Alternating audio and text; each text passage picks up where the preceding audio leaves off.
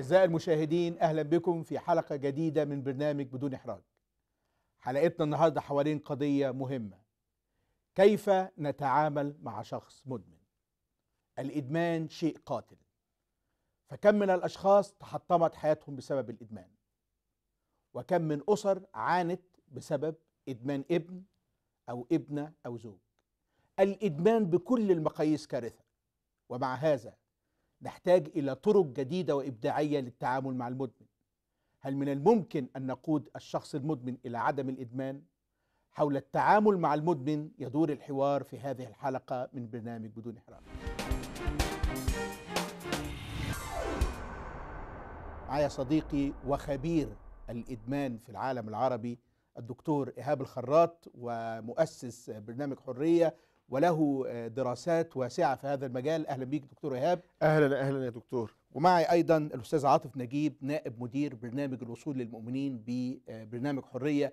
أهلا بيكم. والحلقة دي أنا بعتبرها من الحلقات الهامة جدا لأنها بتتناول قضية أكيد في ظل تغيرات العولمة وفي ظل ما نشوفه النهارده مفيش أسرة بعيدة عن هذه القضية. كيف نتعامل مع مدمن؟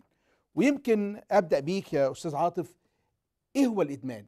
آه الإدمان ده بيبقى يعني أي حاجة مسيطرة على أي شخص إذا كانت آه إذا كان إدمان جنس إذا كان إدمان آه إذا كان الجنس إذا كان المخدرات إذا كان الأكل إذا كان العلاقات.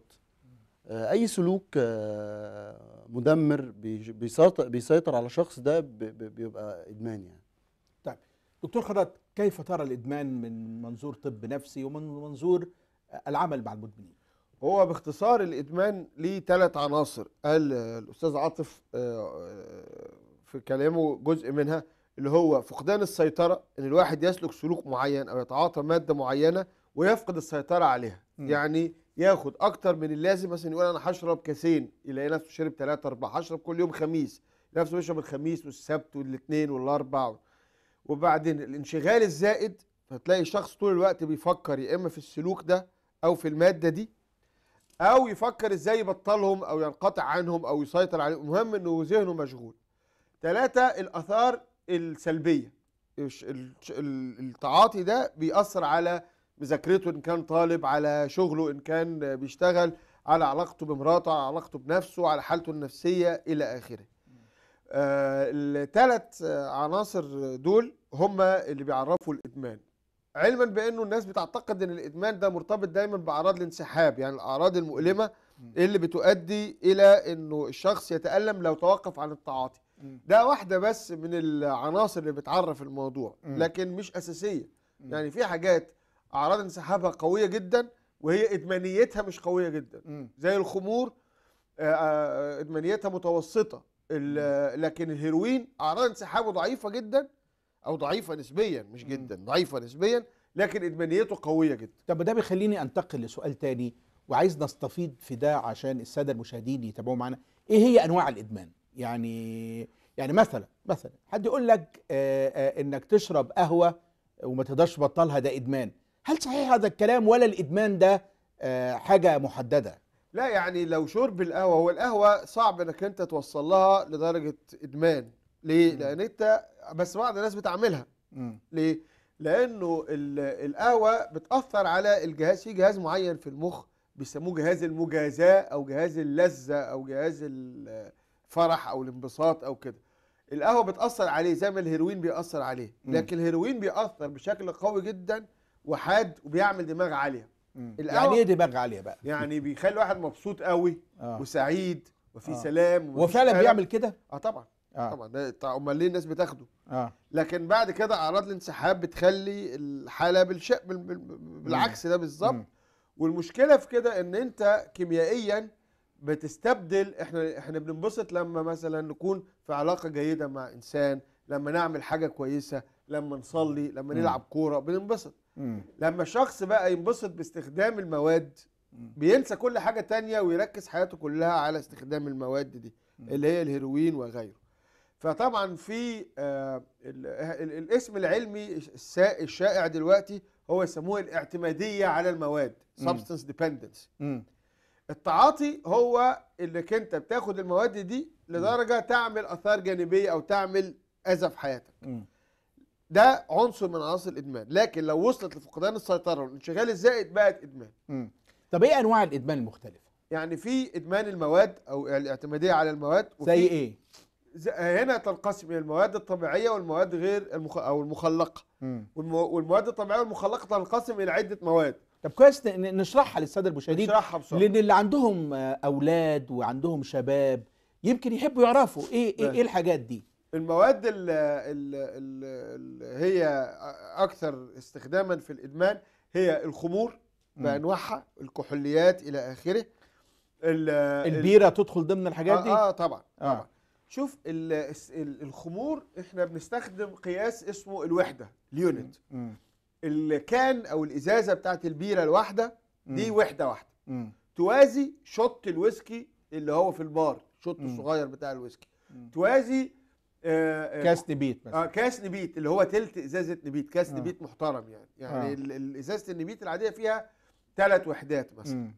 لكن إزازة الويسكي فيها 20 وحدة. وإزازة البيرة واحدة واحدة مم. فاللي بياخد مثلا ست ازايز بيرة زي اللي بياخد ست شطات ويسكي. ال- الرجل من حقه إن هو أو يعني مش هيأذي جسمه لو استخدم لحد 14 وحدة بيره في الأسبوع يعني مم. بمعدل وحدتين في اليوم مم. لكن لو خد أكتر من أربع وحدات في اليوم الواحد مم. يبقى بيأذي جسمه مم. يعني اللي ياخد لغاية 14 ده مش مدمن في الأسبوع في الأسبوع يعني, يعني, معناها كاسين بيره في اليوم اللي بياخد إزازتين بيره في اليوم ده مش مدمن مش مدمن ياه آه. إلا إذا كان شرب البيرة ساعتها مم. بيأذي علاقاته أو حاجته أو بيأذي نفسيا أو مم. عنده مشكلة فيه مم. لكن من الناحية لكن خد بالك لو واحد مدمن أصلا وبيتعاطى مخدرات ووصل لمرحلة الإدمان مم. يصعب عليه جدا بل يكاد يستحيل إن هو يشرب ولا كوباية بيرة واحدة. مجرد ما بيشرب بيرة بيتزحلق. إلى لكن في ناس بتستخدم البيرة مم. أنا مش بتكلم عن الحلال والحرام وال... لا لا دي مش قضيتي أنا واللائق بتكلم آه. والذي لائق لكن من الناحية الطبية العلمية مم. لحد آه، آه، آه، وحدتين في اليوم لحد ثلاث وحدات في اليوم بشرط ما يزيدش عن 14 في الأسبوع مم. ده مقبول ده الكحوليات ده الكحوليات آه. انت عندك بعد كده الأفيونات أو الأفيونيات مم. ومنها الأفيون الطبيعي والهيروين وأدوية الكحة اللي تحتوي على كودين مم. والحاجات الشبيهة بالأفيونيات اللي طالعة جديد زي الترامال والترامادول والنوبين والنيوبين وكل الأدوية الشبيهة. والالفا كامفين والمورفين نفسه دي مم. كلها عيلة الأفيونيات مم.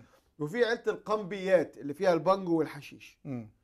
وفي عيلة المهدئات وفيها البنزودازيبين زي الفاليوم والأتيفان وال والأشهر والأخطر اللي هو الروهيبنول الصليبة أو الريفوتريل الصليبة الصغير وال والحاجات اللي زي كده. وفي ال barbiturates كان زمان الفراولة لكن موجودة برضو في الكوميتال دي أنواع أدوية كلها دي أنواع أدوية مهدئة آه آه لما بتاخدها من غير وصف الطبيب تبقى بتتعاطى.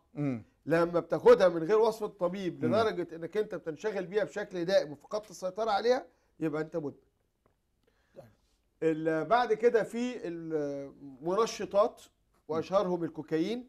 والأمفيتامين اللي هو يسموه الماكس أو ال speed أو الحاجات دي. والمهلوسات وأشهر المهلوسات في مصر اقراص الباركينول اللي هم في مصر وفي بلاد عربية كتير يسموه الصراصير. وفي. الصراصير آه الصراصير اللي بياخده بيشوف صراصير. آه ويقال الراجل ده مصرصر يعني واخد. صراصير. آه وبعدين عندك ال LSD أو ال acid أو الطوابع اللي بتتلزق على على الجبهة أو تتلحس أو كده دي بتعمل هلوسة برضه. يعني الواحد يشوف حاجات أو يسمع حاجات أو كده آه طب في حاجات- في المتطايرات زي الكلة أيوة، والغرا والحاجات دي كلها آه. والاسيتون بنزين. والإيروسول والبنزين والبوتاجاز. أنا أعرف مدمنين في مصر كانوا يشموا انبوبه البوتاجاز يعني. طب وما يموتش ده؟ آه لا يموت آه. آه. يعني ما هو من كل الحاجات دي لو خدت زيادة تموت فهو بياخد أول شوية يعني من انبوبه البوتاجاز وبعدين يقفل الانبوبه يا اذا إحنا ب ب ب بنتعامل مع ظاهرة واسعة جدا آه يمكن أقدر أقول عشرات الأنواع من الإدمان اللي موجودة حاليا فده ده إدمان المواد بس آه بعد كده بقى أي سلوك يسبب لذة والإنسان قادر إن هو يكرره ويكرره لدرجة إنه ينشغل بيه عن أشياء أخرى مم. ممكن يؤدي إلى ما يسمى الإدمان السلوكي مم.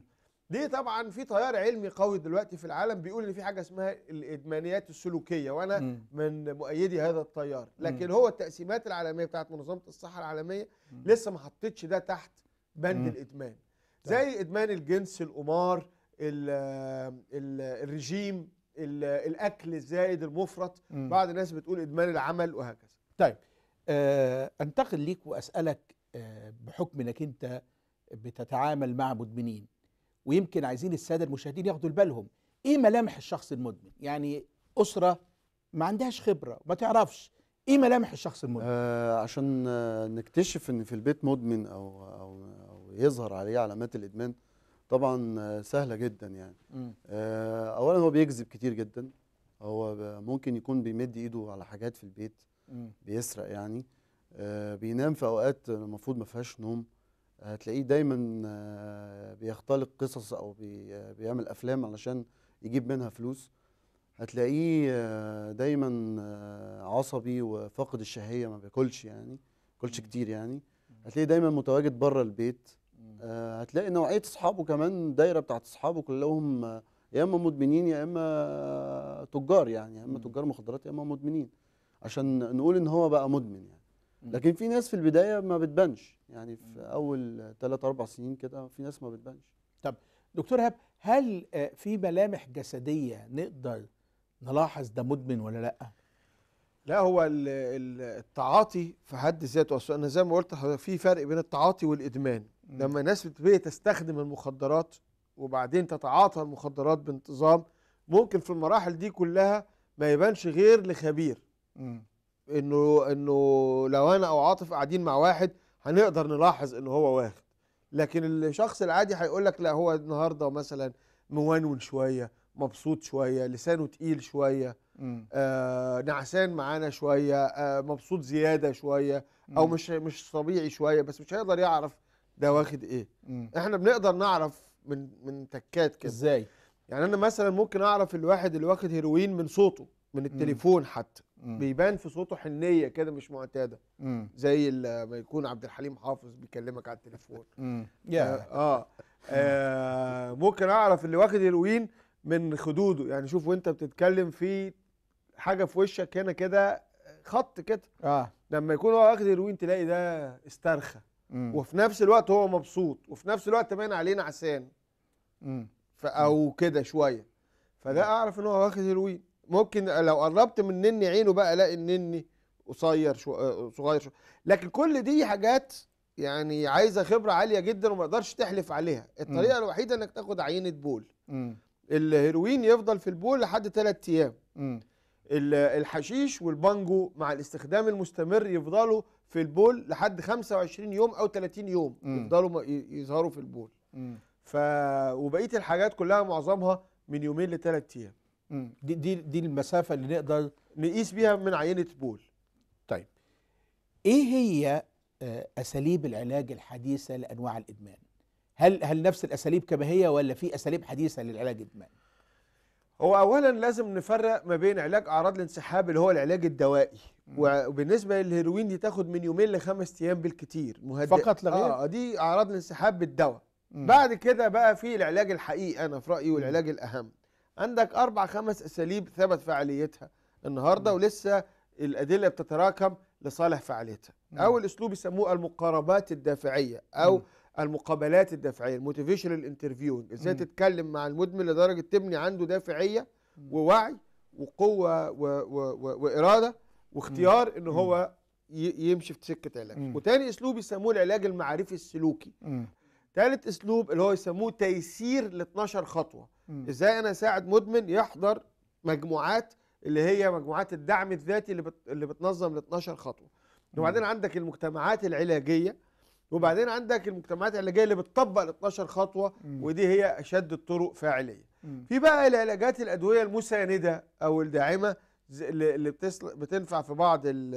الإدمانات أو البديلة زي. الميثادون أو الأدوية اللي بتتاخد اللي هي الميثادون كبديل للهيروين. أو الأدوية اللي بتتاخد علشان تمنع تأثير المادة المخدرة اللي زي برضو ال- ال- النالتريكسون اللي هو بيمنع تأثير الهيروين أو آه، الأكامبروسيت اللي هو بيمنع تأثير الكحول أو بيقلل من تأثير الكحول أو الدايسلفيرام اللي بيمنع تأثير الكحول بالكامل. يعني في أدوية كده بديله هل كل أنواع آه، كل نوع من أنواع الإدمان له علاج معين ولا في حاجة مشتركة مع الكل؟ ال- الجوانب الدوائية بتختلف من مادة وأخرى الجوانب الأخرى متسقة مع الكل يعني تقدر. تطبق المقربات الدفاعيه على أي نوع ال 12 مم. خطوة تطبقها على أي نوع. العلاج المعرفي السلوكي يتطبق على أي نوع. لأنه في الآخر كل المواد الإدمانية وكل السلوكيات الإدمانية قوتها بتأثر على مركز محدد في المخ يسموه زي ما قلت اسمه مركز المجازاة. اللي هو في منطقة بيسموها ما قبل ال- الفص ال- الجبهوي يعني ال prefrontal area في حتة معينة في المخ اللي هي بيسموها nucleus accumbens أو النواه نواة اكامبنس ده بيخليني برضو آه، أنا هرجع لك مرة تاني بس بيخليني أسألك سؤال آخر. هل يمكن علاج مدمن؟ بس يمكن قبل ما أسمع رأيك أشوف أبونا عبد المسيح بسيط قال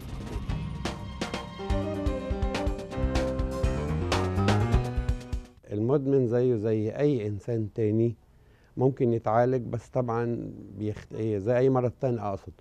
لأن الفرق بينه وبين المرض التاني إن المرض العضوي بسهولة قوي إن الطبيب أو الجراح أو المتخصص في أي مجال من مجالاته آه، من السهل يشخص ويعالج أو يستخدم مشرط الجراح أو يستخدم ال- الأدوية العقاقير. لكن المدمن علا- علاجه بطريقة مختلفة يعني من حيث إنه المدمن أدمن شيء واللي أدمن شيء من الصعب يبطله. وبما إنه من الصعب يبطله لأنه مدمن والإدمان يمكن أحيانا الإدمان بيخش في عاملة زي الهواية. صحيح في فرق بين إدمان وإدمان. يعني إحنا كلنا فينا ناس بتدمن الإنترنت فينا ناس بتدمن تدمن القراية فينا ناس بتدمن الكتابة آه، فينا ناس بتدمن حاجات هوايات كويسة. فما تقدرش تبطل آه، زي دلوقتي يمكن ما تقدرش تبطلها. زي دلوقتي مثلا الناس اللي هم مدمنين النت اللي الواحد منهم ممكن يقعد عشرات الساعات قدام الكمبيوتر وينسى كل حاجة ما يقدرش يقوم. فهي المسألة إن آه، الإدمان بيتعالج لكن إن الشيء اللي بيدمنه بنقول إدمان أدمنه يعني اعتاد آه، تطبيقه اعتاد عمله بالتالي علشان يبطل أو يتوقف ويتعالج محتاج إجراءات علاجية كتيرة.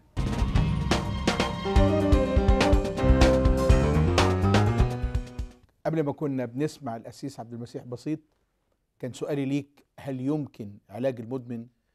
يمكن علاج المدمن مفيش شك آه، لهذا. الإدمان مرض مزمن قابل للتدهور وقد يؤدي إلى الوفاة. لكن مع العلاج السليم الإدمان يمكن السيطرة عليه تماما وفي. دراسة كبيرة اتعملت على المقارنة ما بين المدمن اللي بيواظب على العلاج ولا عدم يواظب يسموها الكومبلاينس يعني. الخضوع للعلاج. فوجد إنه المدمنين ما بي- بيخضعوا للعلاج اللي. بيبتدوا علاج يعني بيخضعوا للعلاج بنفس الطريقة اللي بيخضع ليها للعلاج آه، مريض البول السكري ال diabetes مم. والضغط. ومريض الكلى ودي كلها أمراض مزمنة وقابلة للتدهور لو انت خدت العلاج بانتظام هتجيب نتيجة. ال- المدمن اللي بيواظب على العلاج تصل ال- والعلاج ده قد يعني الانتظام في مجموعات متابعة علاجية مدى العمر. مرة كل أسبوع أو مرة كل أسبوعين بعد كده. في الأول تبقى المجموعة كل يوم. إحنا عندنا في برنامج الحرية الشخص بي بيحضر اسبوعيا حوالي 24 مجموعة في. الأسبوع الواحد. يعني أنت في رأيك الشخص المدمن يمكن علاجه. طبعا. طيب أستاذ عاطف آه، قبل ما نبدأ البرنامج أنت قلت لي إن ليك خبرة مع الإدمان. آه، وأنت نموذج الآن وإحنا بنسجل معاك الحلقة دي عن آه، أنه يمكن علاج المدمن. أعزائي المشاهدين ابقوا معنا. فاصل قصير ونعود نستكمل الحوار حول كيف نتعامل مع مدمن.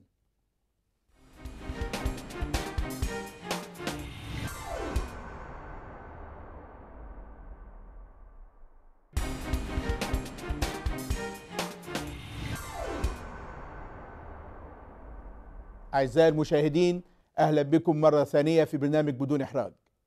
أعزائي المشاهدين إن كان لديكم أي أسئلة واستفسارات برجاء الكتابة إلينا على العنوان الذي يظهر على الشاشة أمامكم الآن. نعود ونستكمل الحوار حول كيف أنا مش بناقش الإدمان في الحالة دي أنا بقول كيف نتعامل مع شخص مدمن. أستاذ عاطف آه، قبل ما نبدأ البرنامج أنت قلت لي إن عندك خبرة وأحب أسمع خبرتك. هو هو أنا خبرتي في في الإدمان جت آه، نتيجة تجربة شخصية يعني. أنا آه، مدمن آه، مخدرات كنت. كنت مدمن مخدرات. أو أنا أنا مدمن متعافي دلوقتي. مبطل بقالي خمس سنين وعشر شهور. وأنا اتعالجت في برنامج الحرية اللي هو الدكتور إيهاب المدير العام بتاعه. وأنا يعني هو كان المعالج الشخصي بتاعي في في أثناء البرنامج يعني. وأنا خبرتي خبرتي جاية نتيجة ال ال إن أنا آه، عديت 16 سنة أو 15 سنة ونص مثلا في في في في البهدلة وفي كنت باخد مخدرات بكل أنواعها. طب احكي لنا بالتجربة بالتفصيل شوية. آه. لنا عن القاع شوية. آه، قاع بهدله آه، أنا طبعا بدأت آه، إدمان آه، تقريبا وأنا في تانية إعدادي. آه، بدأت بالحشيش والبيرة والخمور. وبعد كده ابتدى الموضوع يتطور شوية ناحية الأدوية المخدرة زي الكودافين وال وساعتها كان الريفوتريل وال وأبو صليبة. وبعد كده ات- اتجهت شوية ناحية آه، ال- الحقن في آه، في سنة آه، 95 تقريبا.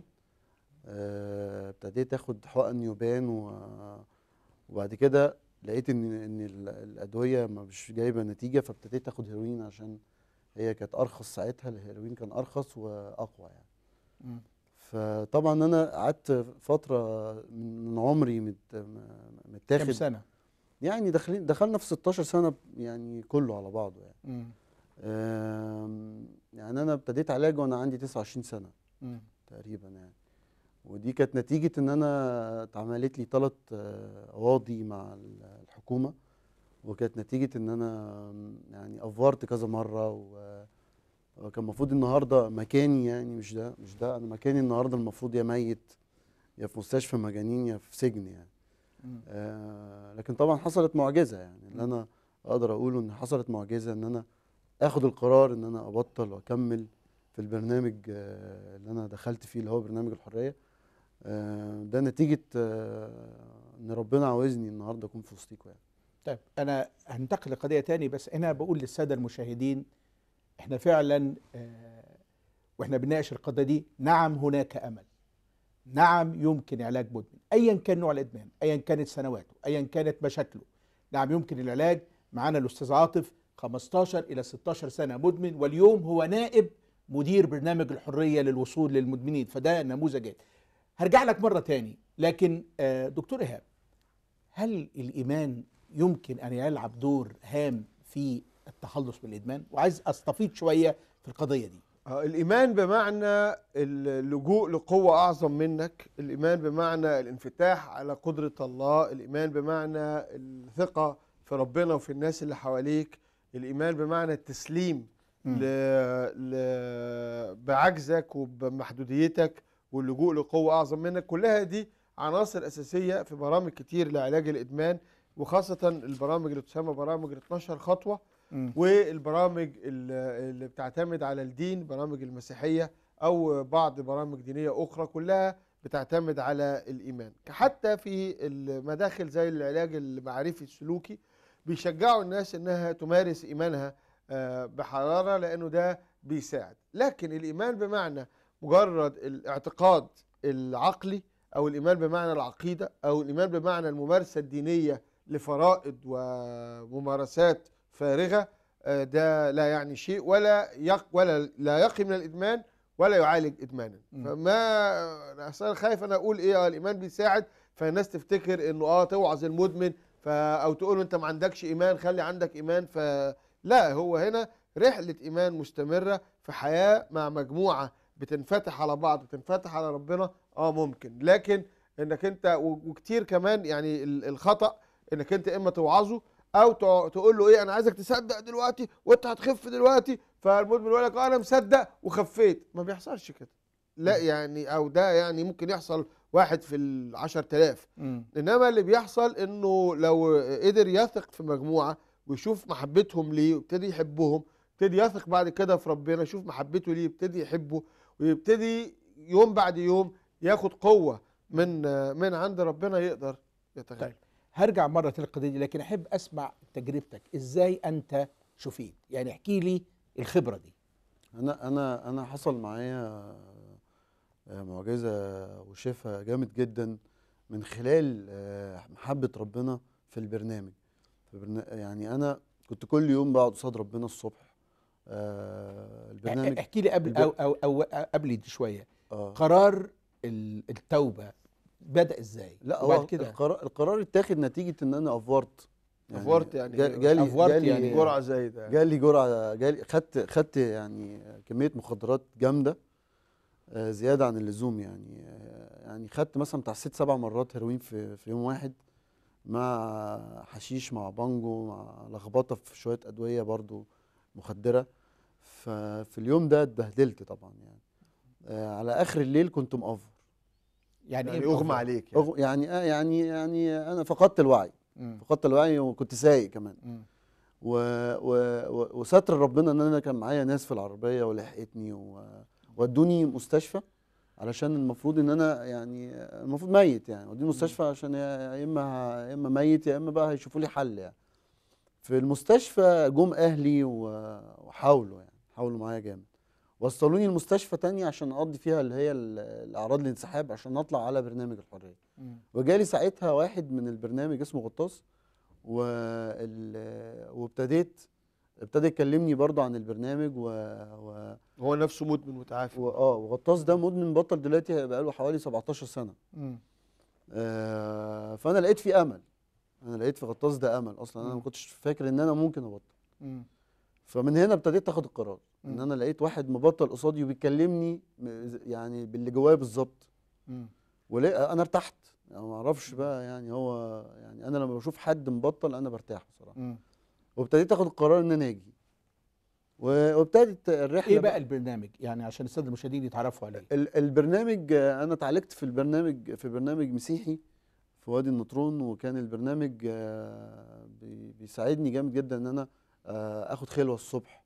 في فقرة الصبح أول ما بنصحى بناخد خلوة وفي فرصة إن أنا أصلي آه، وفي فرصة كمان إن أنا أعمل فترات عمل واتعلمت إزاي أوضب سريري أنا ما كنتش بوضب سريري. كان في مجموع مجاميع علاجية كان الدكتور إيهاب هو اللي بيقودها بنفسه. في الوقت دوت آه، آه، دي مجاميع مواجهة. كنا كان بيو... كنا بنواجه بعض وبن... بنطلع اللي جوانا بأمانة وبصراحة. و... والحاجات حتى اللي أنا ما كنتش شايفها جوه الجروبات العلاجية دي كانت آه، كانت كنت بشوفها من خلال ضمير المجموعة. و... و... وزائد اجتماعات روحية كنت كنت بحضر اجتماعات روحية. زائد مؤتمرات روحية. زائد زائد إن أنا كنت بقعد مع مدمنين مبطلين. آه باخد خبراتهم. في التبطيل يعني دي كانت أقوى حاجة بتساعدني في ال- في التبطيل إن أنا بقعد مع مدمن زيي بس هو بطل قبلي. وهو ابتدى يديني خبرته. وتجربته هو في التبطيل طيب دكتور خراط إيه أهم ملامح العلاج إحنا بالنسبة لنا في برنامج الحرية النهارده عندنا 160 سرير في منهم 24 سرير مخصصين للبرنامج المسيحي وبقية الب- الأسرة مخصصة لبرنامج اللي اسمه 12 خطوة وهو برنامج يعتمد مبادئ روحية أو روحانية غير دينية فتنفع لأي شخص مسلم أو مسيحي أو ما عندوش دين خالص تنفع ليه. بنفس المنطلق بتاع الاعتماد على قوة أعظم منك الاعتراف بعجزك الثقة في المجموعة وعندنا أنواع مختلفة من المجموعات بالشكل ده. دي أساسيات في العلاج الشخص بيقعد في البرنامج من 3 أشهر إلى 4 أشهر أحيانا 6 شهور آه، أول شهر ما بينزلش خالص لكن الباب مفتوح لو عايز يروح يروح هو قاعد آه، محدش بيجبره. مم. لكن قاعد لأن المجموعة بتحبه وبتستريح وهو بيستريح في وسطيهم فقادر ياخد يوم واحد كمان زيادة معاهم. يعني إحنا بننصحه إنه تتبطل يوم بيومه بس. المدمن اللي لسه بيتعاطى آه بيعتقد إنه هيبطل بكرة. إحنا بنقول المدمن اللي بيبطل ابقى اضرب بكرة بس النهارده خليك مبطل. يقول لك أنا مش قادر مش معقول هفضل طول عمري ما باخدش مخدرات نقول له لا إحنا بكرة يبقى خد بس النهارده ما تاخدش. ولما يجي بكره نقول له النهارده ما تاخدش وهكذا. فدي الملامح هي الاعتماد على المجموعات وزي ما قلنا في أنواع كتير من المجموعات ذكر عاطف بعضها الاعتماد على قوة أعظم منك مم. ال ال العلاج بالعمل مم. المشاركة الجماعية في اتخاذ القرارات مم.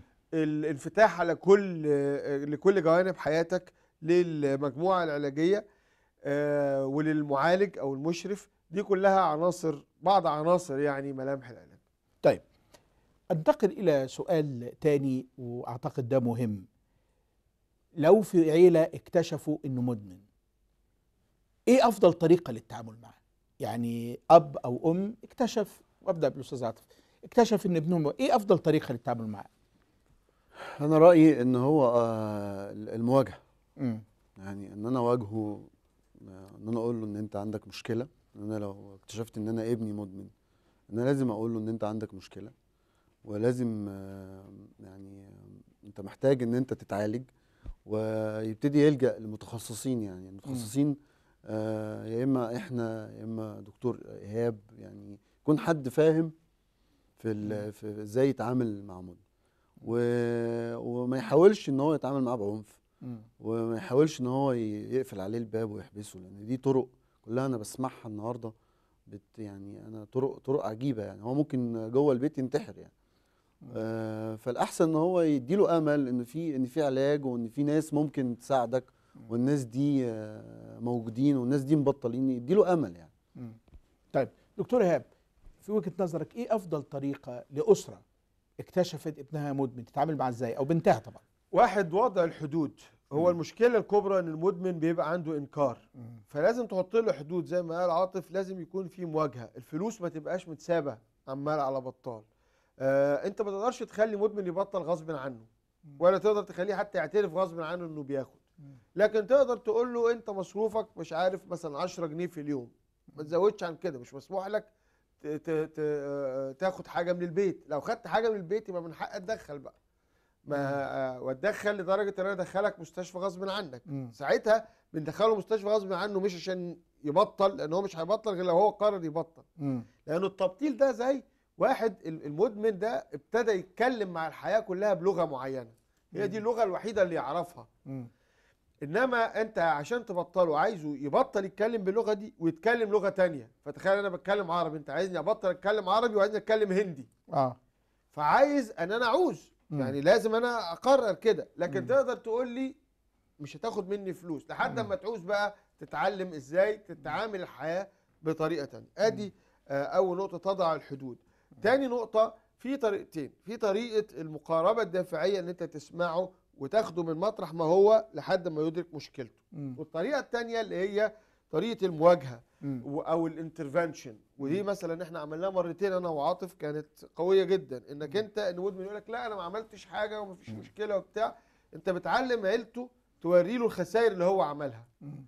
إن الأم حست بإيه لما ابنها اتطرد بقى في الشارع. ح- الأب حس بإيه لما آه، زمايله قالوا له أنت ابنك مدمن أو لمحه؟ أو لما تحويشه عمره راحت مم. أو لما صحي لقى ابنه واقع على. الأرض مغمى عليه مم. فأنت بتعلمه إزاي ب... ما انصحش إنه الاباء الآباء والأمهات يعملوا ده لوحدهم محتاجين مم. تدريب عليه مم. فلازم حد متخصص يعلمهم إزاي يعملوا المواجهة دي مم. النقطة الثالثه اللي هي الإجبار على العلاج ده مش هيخليه يبطل لكن الاجبار على العلاج لو حالة ما هو خطر على نفسه أو خطر على الآخرين خطر جسيم على صحته أو على فلوسه أو على صحة الآخرين وفلوسهم. فبيهدد أمه بالضرب أو بيضرب فعلا أو بيهدد أبوه أو بيضرب أبوه أو بيسرق فلوس غصب عنهم. أو بيبدد فلوس كبيرة جدا. فساعتها لازم نتدخل آه، تدخل آه، حاسم. آه، خد بال حضرتك إنه ال- الأوائل الناس دايما بتقول أنا عايز أكتشف بدري. هو الاكتشاف البدري ده مش ممكن تكتشف بدري لو ما اتغيرتش سلوكياته وصل لدرجة الإدمان اللي هي المناظر اللي بيقولها عاطف دي. صعب جدا تكتشف إلا إذا اكتشفت المادة نفسها. اكتشفت شوية بانجو اكتشفت سيجاره حشيش اكتشفت حاجات زي كده. لكن التعاطي في مراحله الأولانية صعب جدا إلا بتحليل بول أو اكتشاف حاجة زي كده. طيب ده بيخليني آه، آه، أسأل سؤال تاني آه، مهم جدا. إمتى نقول الشخص ده لازم يروح المستشفى؟ هي اللحظة اللي نقول إن الشخص ده لازم يروح المستشفى. أعزائي المشاهدين ابقوا معنا. فاصل قصير ونعود لنستكمل حوار حول كيف نتعامل مع شخص مدمن.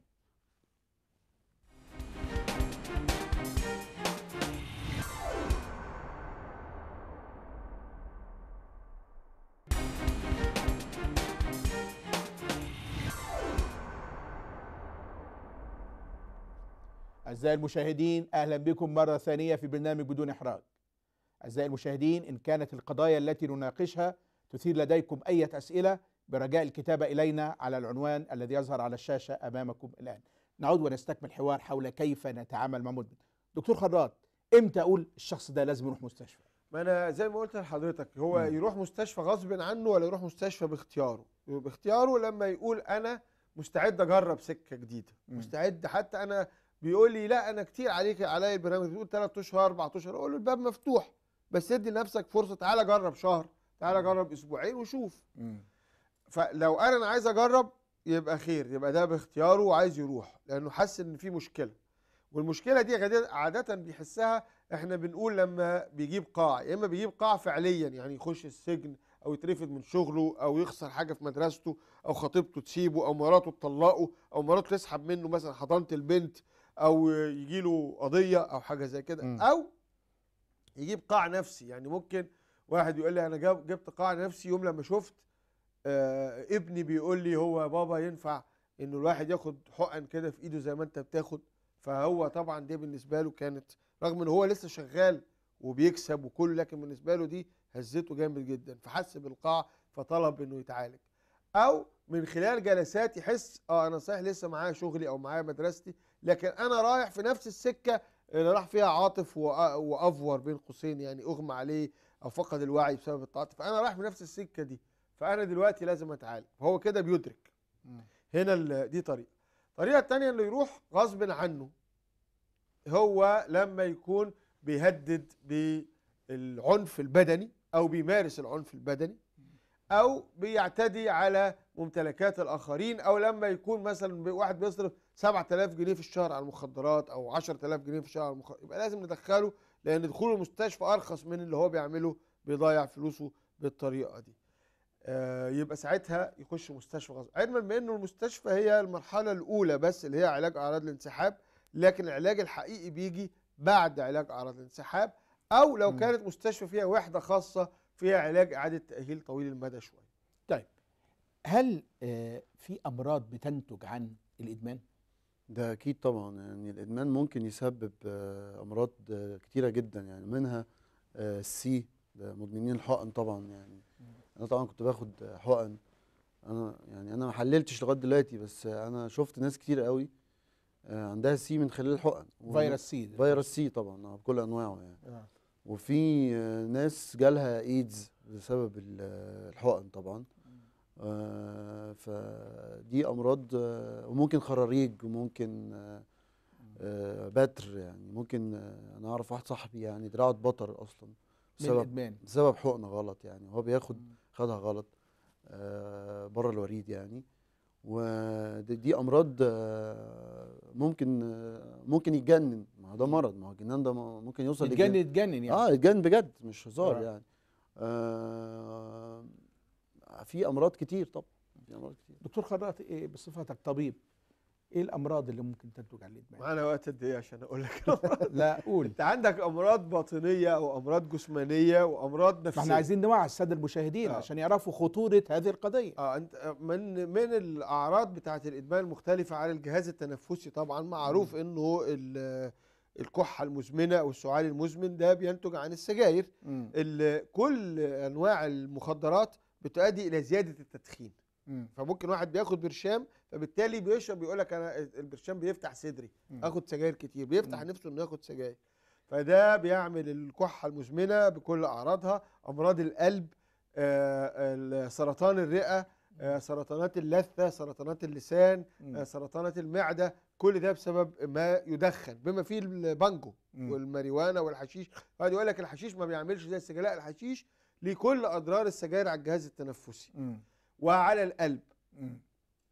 آه بعد كده عندك الجهاز ال ال ال الهضمي آه عندك الخراريج ال- القرح قرح المعدة قرح ال ال الأمعاء كل ده زائد زي ما قال عاطف الالتهاب الكبدي الوبائي من نوع جيم أو من نوع ب أو التهابات أو التليف الكبدي نتيجة الخمور ودي بتيجي مراحل الأول تراكم الدهنيات وبعدين التليف ثم السيروزس ثم سرطانات الكبد.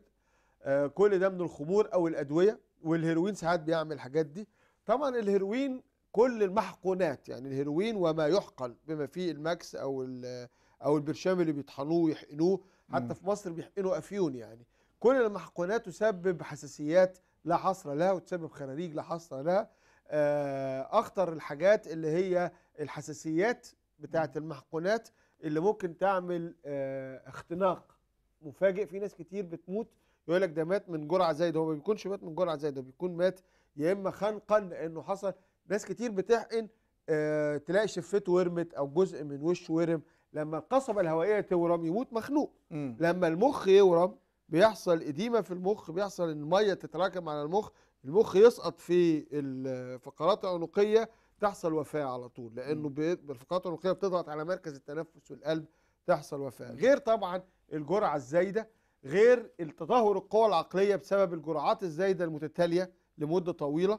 وطبعا عاطف دلوقتي شكله أنت ما تشوفش كده هو في الأول كان مش بيركز خالص وكان تا- تايه قعد شهور على بال ما ابتدى يسترد عافيته الذهنية. لأن كثره الأفوارة دي بتخلي الواحد ما قدراته فعلا. الأفوارة ده تعبير آه، وسط المدمنين فقط آه يعني هو overdose يعني. آه هم آه. بيقولوا لك overdose أنا أصل أول مرة أسمعه في الحقيقة. آه لا. يا- زي آه. في تعبيرات كتير لل- للمدمنين. آه.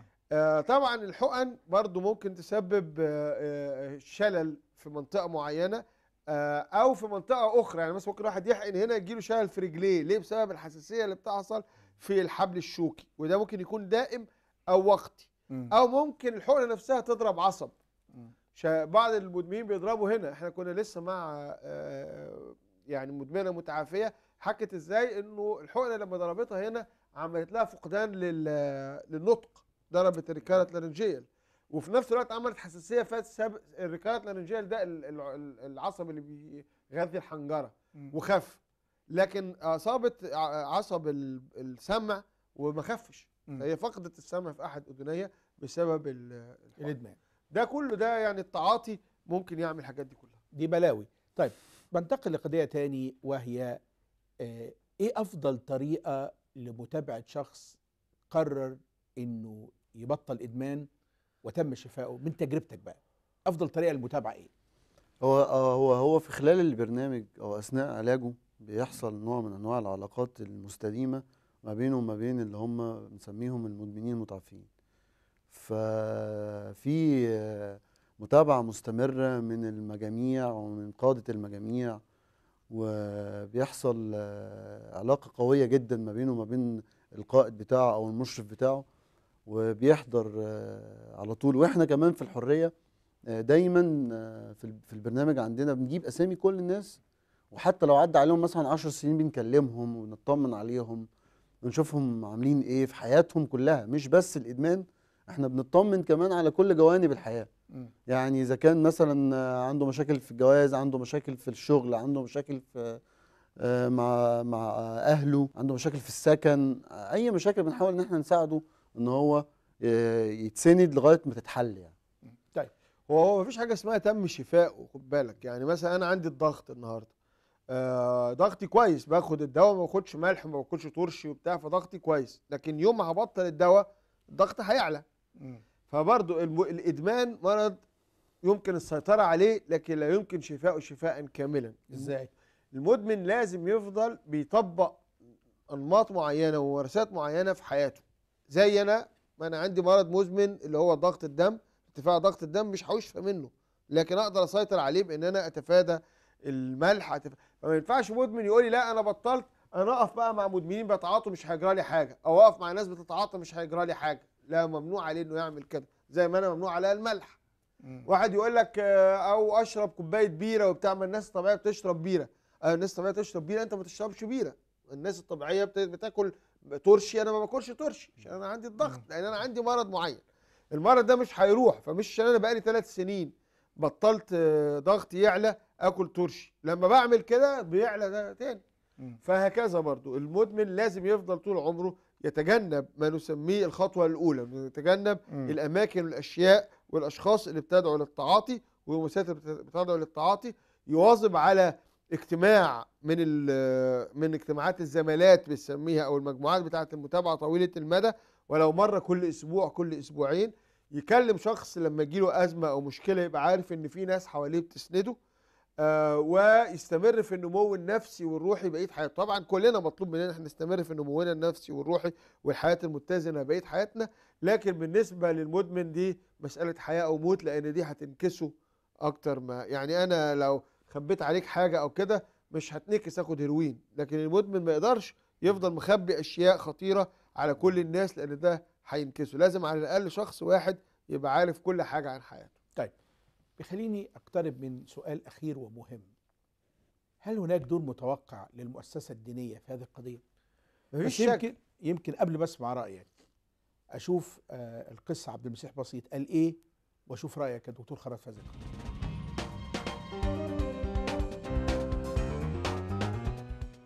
آه، دور المؤسسة الدينية أو بالتحديد الكنيسة في مواجهة الإدمان آه، هو دور روحي بالدرجة الأولى لكن في الوقت الحالي أصبح دور روحي اجتماعي نفسي. يعني ما ينفعش روح لوحده لازم يكون دور روح دور روحي نفسي اجتماعي. بمعنى لو إحنا قلنا للمدمن تعالى الإدمان ده مش صح وجبنا له آيات الكتاب المقدس. ومن خلال آيات الكتاب المقدس أقنعناه إن الإدمان ده آه، مش صح. فالدور الروحي لوحده جايز آه، ضغط ال- الحاجة الج- الج- الجسمية للمخدر ال- اللي هو ما أصبح جزء من تكوينه كمدمن آه، يخليه يستهين ببعض ال- الآيات ببعض يعني آه، ببعض النصائح الروحية لكن لازم يكون في دور اجتماعي بالدرجة الأولى ودور نفسي. الدور الاجتماعي آه، بيقوم بيه الأب الكاهن أو الخادم أو المسؤول مع الأسرة في البيت الدور النفسي يكون مع الشخص نفسه. إنه يقتنع أو يكون على الشخص أو ال- ال- الجماعة اللي هي بتلعب معاها الدور النفسي ده إنه تقنعه إن الإدمان ده خطر على حياته. خطر على بيته هيخسر بيته هيخسر عياله هيخسر نفسه هيخسر مستقبله. يعني هيبقى دور خطر لازم يقتنع نفسيا إن لم يقلع عن هذا الإدمان ويتوقف عن هذا الإدمان هو هيتدمر وهي- وهيخسر أحب الناس ليه. اذا في دور روحي نحس إنه يخسر حياته الأبدية. في دور نفسي نحس إنه هيخسر آه، كل شيء بيحبه في, في هذا العالم. دور اجتماعي ان إحنا نساعده روحيا ونفسيا ونهيئ له السبل والطرق اللي هي تساعده على إنه يقلع من هذا الإدمان.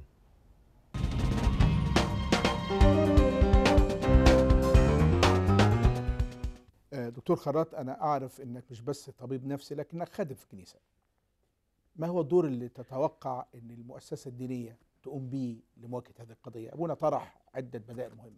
مم. أنا عايز بس أقول تعليق عشان كرر حكاية أكتر ما بيضغط على المدمن مش الوجع اللي بيحصل في جسمه. أكتر ما حاجة بتضغط على المدمن هي الذاكرة المنطبعة في في ذهنه إنه التعاطي بيريحني من كل المشاكل وبيديني سعادة. إنما الأعراض الجسمانية دي أنا ازعم إن أنا في تاريخي شفت يمكن 1800 2000 مدمن وازعم إن أنا ما شفتش ولا واحد فيهم ما قدرش يتغلب على أعراض الانسحاب لوحده أو بمساعدة طبيب مرة أو اتنين أو تلاتة. فهي مش القضية أعراض الانسحاب أو الوجع الجسماني لأن ده زي دور برد جامد في, في معظم الحالات. لكن القضية هي الذاكره المنطبعه فيه. ده يخليني أقول إيه؟ إنه آه الكنيسة ليها دور زي ما قال آه أبونا عبد المسيح. آه أبونا عبد المسيح آه إنه ليها دور في إنها توضح الخسائر. لكن ليها دور إنها تدي الأمل. ليها دور إنها تدي إن في أمل إن ربنا لسه بيحبك إنك أنت ليك قيمة إنك أنت إن ربنا يقدر يتدخل في حياتك إنك أنت مقبول عنده آه كرسالة. نمرة اتنين إن الكنيسة في الواقع بترعى برامج كتير جدا لعلاج الإدمان في العالم كله مش بس في مصر أو في البلاد العربية وبتقدم رعاية صحية. آه، في أفريقيا لقوا إنه 40% من الخدمات 40 إلى 60% في بعض الدراسات من الخدمات الصحية اللي بتوجه لعموم الشعب آه، طبية عموما نابعة من الكنيسة. وبرامج إدمان كتير جدا في العالم آه، كلها نابعة من المؤسسات الدينية. طيب شايف إيه الكنيسة إيه الدور اللي تقوم بيه من خبرتك؟ آه، هو طبعا في كنايس بتقوم بدورها على أكمل وجه كتير مش هذكر أسامي الكنايس. طبعا منها قصر الدبارة يعني. لكن في كنايس تانية بتقفل الباب في وش ال- الناس اللي محتاجين يعني زي المدمنين. يعني لما بيكتشفوا إن في مدمن جوه الكنيسة بيقفلوا في وشهم الباب مم. يعني أنا حصل معايا كده.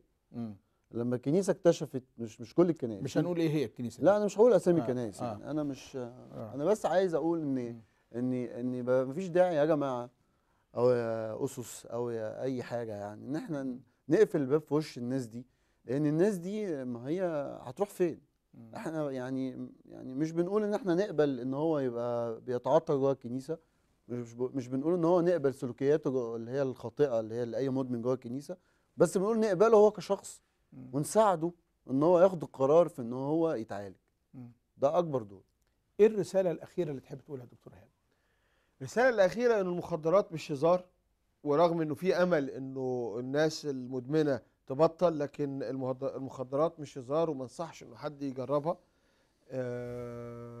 لكن آه، بقول لكل مدمن إن في أمل في التبطيل وبقول له إنه تبطيلك مهم بس أنت أهم وهو وأنت عند ربنا وعندي مهم جدا لدرجة إنه في طرق ربنا حاططها علشان تقدر تبطل. أعزائي المشاهدين دون شك الإدمان كارثة. كارثة بالأسرة كارثة بالشخص كارثة بالمجتمع. نعم الإدمان قد يؤدي إلى الموت. إلى الجنون إلى أمراض لا تنتهي. الإدمان مرض ومرض مزمن ويحتاج إلى نوعية خاصة ومتابعة خاصة ومع هذا هناك أمل. نعم في المسيح دائما هناك أمل وفي المسيح دائما هناك طريقا جديدا أننا عرضنا اليوم قصة الإدمان وعرضنا كيف نتعامل مع مدمن. ومعنا حالة شاهدة لشخص عاش أكثر من 15 سنة مدمنا. لكنه شفي والآن يشارك في إدارة برنامج هام جدا لمواجهة المدمنين. هذا النموذج الذي بين أيدينا يدعو إلى الأمل يدعو إلى التحدي ندعو الأسرة إلى آه، إدراك جديد لأهمية هذا الموضوع إلى تعامل مختلف. كما ندعو الكنيسة أيضا أن تكون آه، ال- المكان الذي يفتح أبوابه لهؤلاء الأشخاص. نعم يعطيهم النصح ونعم يعطيهم التوجيه. أعزائي المشاهدين أيا كان نوع الإدمان الذي تواجهه هناك أمل وهناك تحدي. هذا الأمل هو في شخص المسيح لكن أيضا هناك أمل في أن الشخص نفسه يكون قادر على قولة لا. لا مفتاح هام جدا لا هي حرية ومن خلال الإيمان بالقوى الأعظم يستطيع الشخص أن يتغير وأن يغير. إنني في النهاية أشكر ضيوفي الذين قدموا آه، نموذجا هاما وإرشادا مهما. خبير آه، معالجة الإدمان في العالم العربي الدكتور إيهاب الخراط والأستاذ عاطف نجيب نائب مدير برنامج الوصول للمدمنين في في حرية وإلى أن نلتقي أعزائي المشاهدين في حلقة قادمة الرب معكم.